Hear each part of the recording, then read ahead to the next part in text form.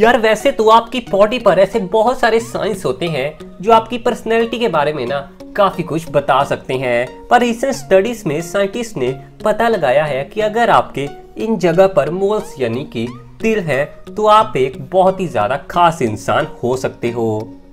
Scientist का मानना है कि एक नॉर्मल इंसान की बॉडी पर 10 से 35 मोल्स होते हैं। तो चलो यार गाइस आप इस वीडियो को ना लास्ट तक ज़रूर देखना और नीचे कमेंट में भी ज़रूर बताना कि आपके किस जगह पर मोल यानी कि तिल है।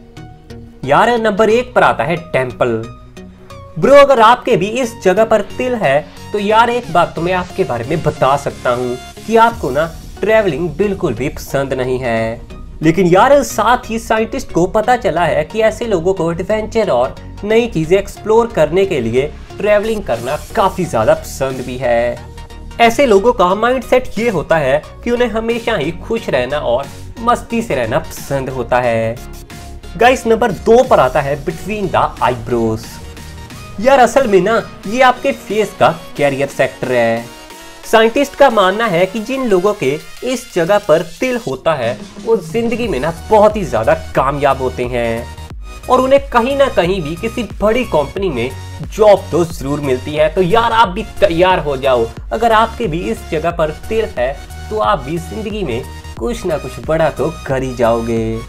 और स्टडीज़ में ये भी पता चला है कि ऐसे लोगों को घर पर रहना भी काफ़ी ज़्यादा पसंद होता है। तो अगर आप भी यार ऐसे लोगों में है ना तो आप ज़िंदगी में सक्सेस ज़रूर हासिल करोगे। क्योंकि यार, सर्वे में पता चला है कि ऐसे लोग ब्लॉगिंग पेंटिंग और यूट्यूब के कैरियर में बहुत ही हाई लेवल पर जाते हैं।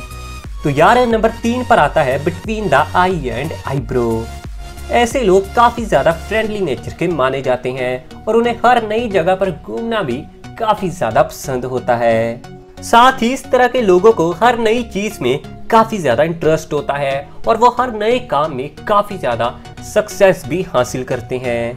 यार नंबर चार पर आता है अपर लिप ब्रो अगर आपके भी, यार, अगर आपके भी लिप के ऊपर तिल है तो आप ना एक बहुत ही, यार, एक बहुत ही कमाल के कम्युनिकेटर हो।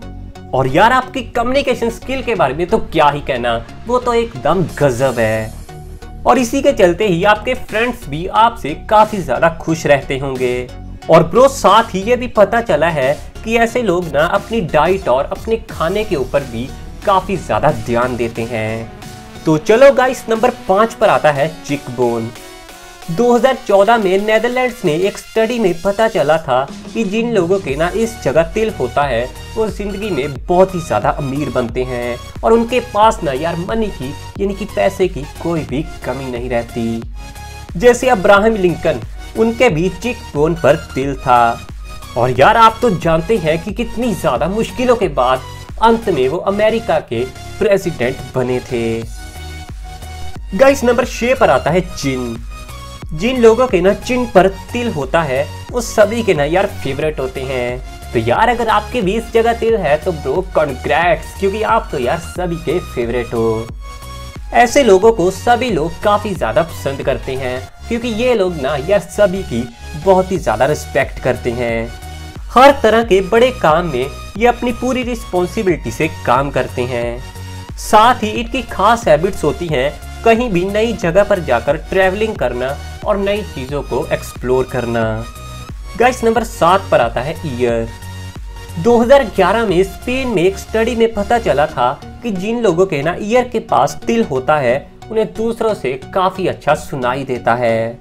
और यार, ये बात एक बार नहीं, बल्कि चार स्टडीज़ के बाद प्रूफ हो चुकी है। और ये साइंस का एक पूरी तरह से ट्रू फैक्ट है। साथ ही ऐसे लोगों को काफ़ी ज़्यादा लकी भी माना जाता है। और माना जाता है कि ऐसे लोगों की किस्मत हर समय उनके साथ रहती है। तो चलो यार गाइस यही थी आज की वीडियो इस वीडियो के बारे में आपका क्या मानना है, नीचे कमेंट में ज़रूर बताना। और इस वीडियो को लाइक करो शेयर करो अपने भाई के चैनल को ना सब्सक्राइब करने के साथ ही इस घंटी को भी ज़रूर दबा दो।